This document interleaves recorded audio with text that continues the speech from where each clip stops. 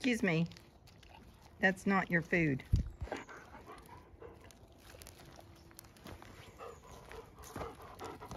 Bold. Teaching everybody bad habits you are, Inca.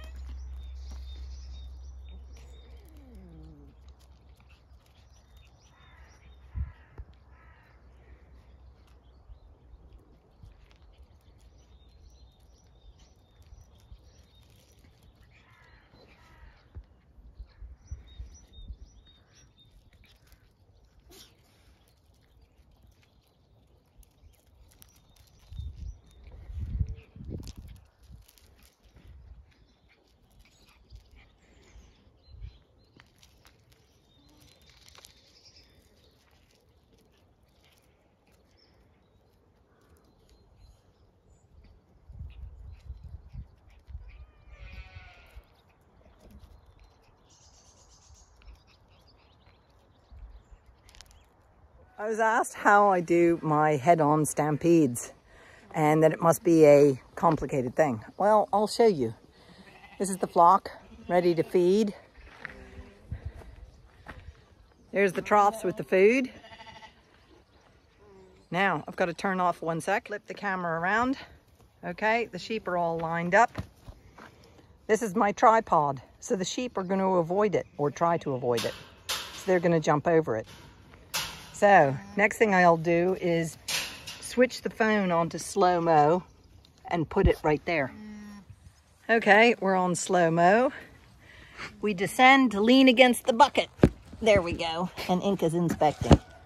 There we go. Okay, no, Inca, there's nothing there. Okay, now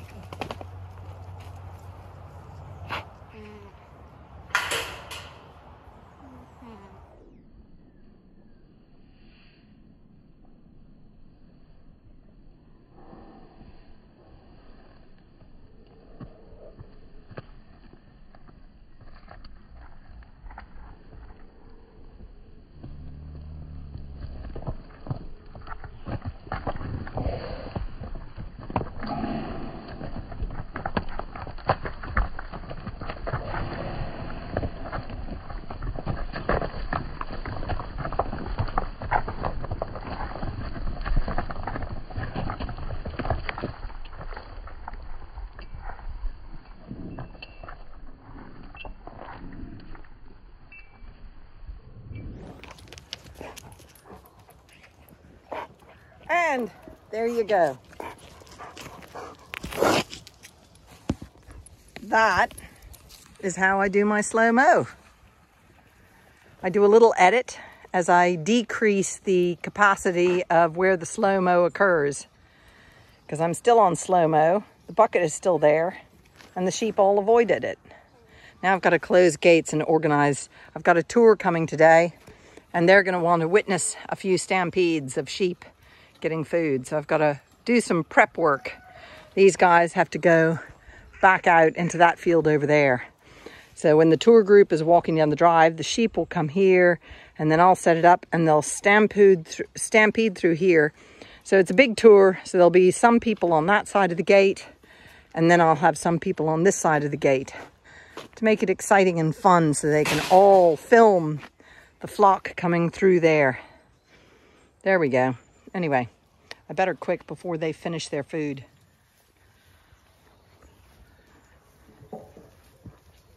Look at these bold lambs sticking their heads through my homemade bamboo fence. I've got to rejuvenate the bamboo fence.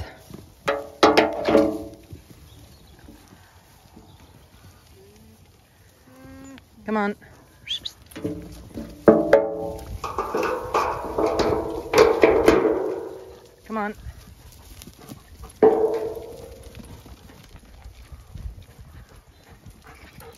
Brindle, leave it. You good? Go back to your mother. I no, no, bold. Go on. Oh, glass. Ha. Okay, one alpaca is out. You t you've got to stay in here. Sorry. Oh, that's annoying. Very annoying. Nope, you're staying here. I don't want two of you browsing all the trees. Yeah. Well, at least they'll only be there till the uh, tour group comes. Oh, Lord. A touch of scald there. I'll have to treat you. I'll have to catch you and treat you. Look at that bold alpaca. She's having a lovely time herding the sheep.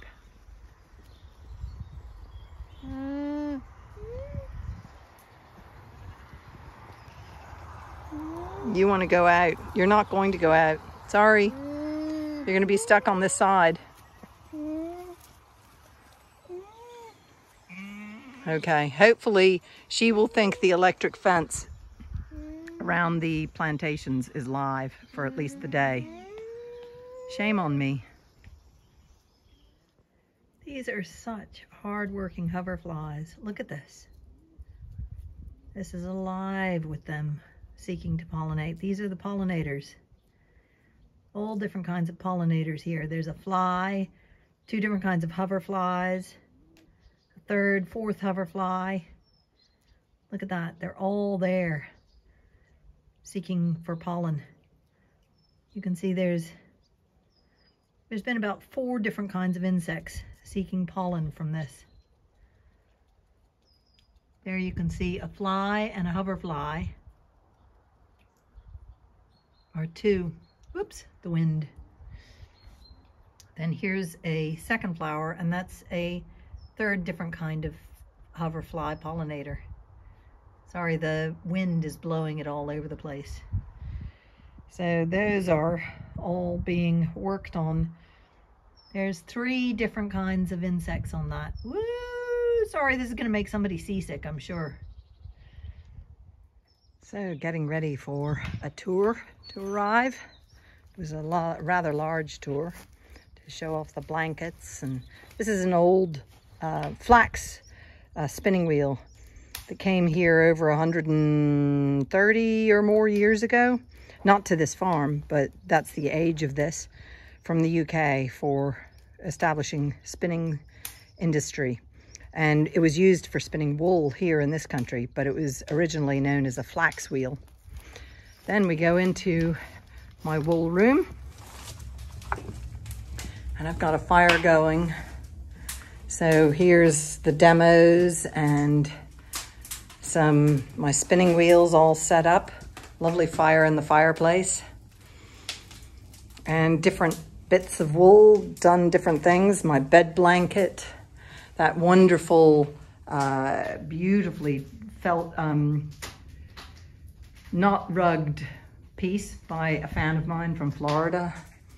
These are two sweaters knit out of, this was raw fleece done by this man in uh, Dublin that somebody's knitted out of one of out of my uh, yarn that was spun by Cushendale Woolen Mill. And this is a felted um, fleece. And this is another felted fleece. So there's my book. So there we go. And of course the wool goddess. There you go, wool goddess. Anyway, and uh, the two chaperones ready for to greet the people coming uh, from, I don't know where they're coming from. They come from, from Canada, France, USA, elsewhere in Ireland. I've no idea. Anyway, and luckily the sun is beginning to shine, which is nice. Thank goodness. I was worried it was going to be raining. Okay, ladies. I'm going to release them to stampede for the tour group.